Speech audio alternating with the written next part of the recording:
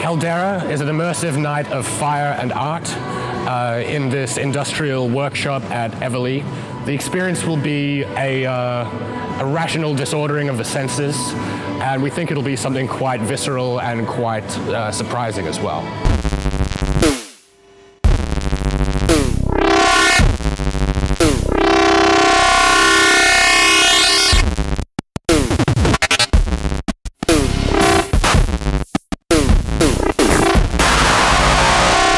Caldera should be seen by everyone who wants something that is utterly unique and memorable, and something that you literally can't get anywhere else other than right here.